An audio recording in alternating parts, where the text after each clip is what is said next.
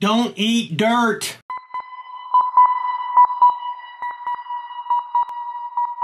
Here's an amazing story from the BBC. Typically, I don't uh, do science vlogging on weekends. I'm off. Actually, I'm trying to catch up on Doctor Who because you know Doctor Who is now on HBO Max, and yeah, I've got HBO Max. I'm trying to catch up with that. But no, this story it came out from the BBC. Yet another thing from the BBC. Doctor Who's a BBC production, and now I'm reading BBC News, and there's this. The BBC is, is is taking up a lot of my time on this weekend. I'm telling you, it's a conspiracy. It's Big TARDIS trying to disrupt my weekend. Now, this came up, I saw it and I read it, and I was like, holy crap, I got a vlog about this. Here's the headline A teaspoon of soil, of Amazonian soil from the Amazon rainforest in South America can hold 1,800 different species of life forms. 1,800. 1,800! That's amazing. I'm sure most of you heard the old saying that for every disease that humans have, there's a plant that cures it. So, so here's an example of that whole thing. Have you guys ever heard of the drug Taxol? T A X O L. Taxol is a drug that fights breast cancer, ovarian cancer, and a thing called Kaposi syndrome, which I'm not really, really sure what that is. And where does it come from? Where, where does this wonder drug come from? The Pacific yew tree, which grows in the Pacific Northwest. The bark. Something in the bark fights breast cancer, ovarian cancer, and Kaposi syndrome. So when you hear the saying, for every malady that humans have, somewhere there's something on earth, a plant that fights it, a plant that kills it. So when you go back to the idea of one teaspoon of Amazonian soil contains 1,800 different species of life forms, and we have not cataloged them all. We are nowhere near cataloging them all. We could educate an entire generation to be microbiologists all over the planet, and we still wouldn't get the job done. It is astounding to me how, how many's in just one small tiny soil sample. Let me read from the BBC article. To help protect the Amazon rainforest, which is being lost at an ever increasing rate, it is essential to understand the role of fungi, said a team of researchers led by Professor Alexandre Antonelli, Director of Science at the Royal Botanic Gardens. They said, Take a teaspoon of soil and you will find hundreds or thousands of species, he said. Fungi are the next frontier of biodiversity science. This last year, we have destroyed a record amount of the Amazon rainforest. And it's just not the Amazon. We are destroying habitat all across the world North America, South America, Asia, Africa, India. We are destroying a sinful amount of habitat. When we destroy habitat, we force species into extinction. And these are not species that outgrew their usefulness or or was uh, taken over by another species, their habitat was uh, encroached on by other natural means. This is just us burning down the rainforest for no reason. And this is becoming a significant problem.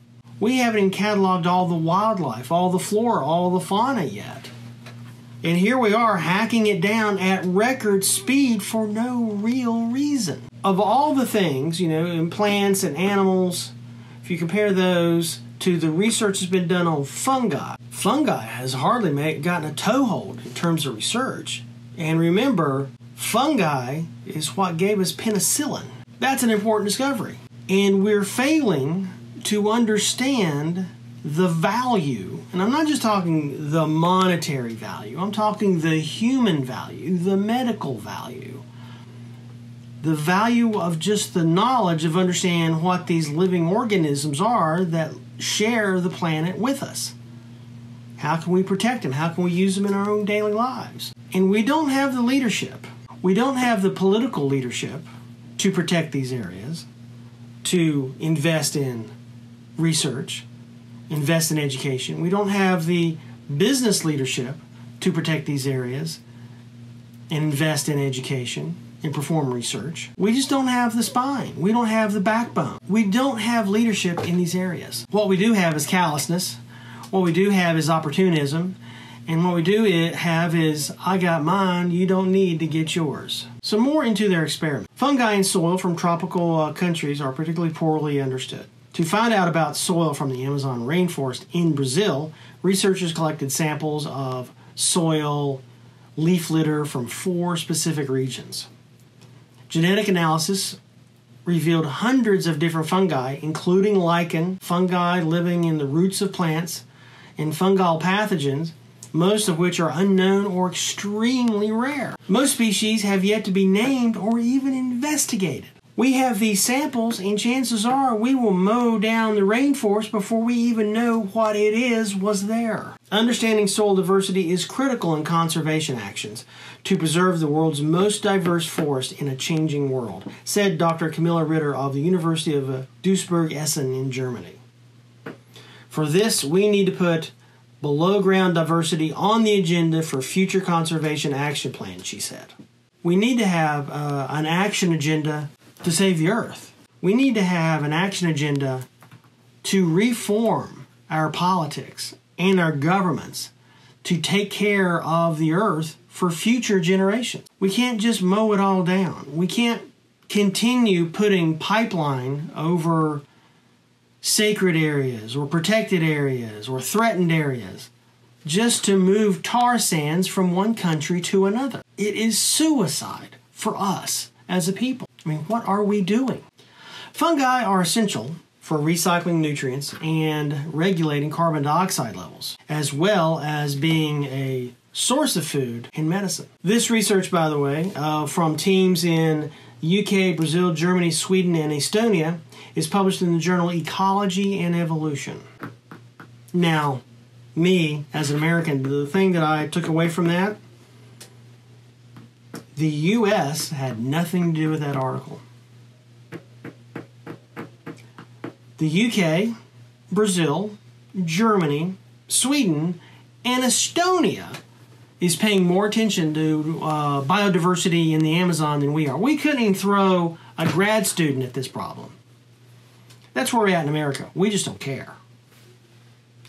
And for those of you that do care, we're going to have to do something about it. This is not a political message. This is saving your butt message. This is saving the world message. This is, this is not a Democratic message. This is not a Republican message. This is a people message.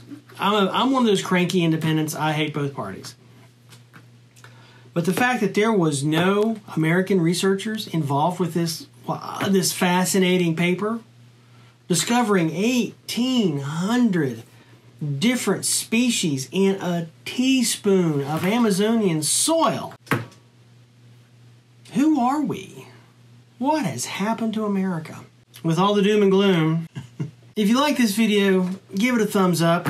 At least I'm trying, guys. you know, I, am here. I'm at least reading, trying to educate people on the importance of this stuff. If you like what I'm doing on the channel, please subscribe. And until next time, I'll be your lab partner. Hey, at least I'll be your lab partner. There's one person at least on here that's trying to help. I'll be your lab partner. Y'all be good. Take care. Bye bye.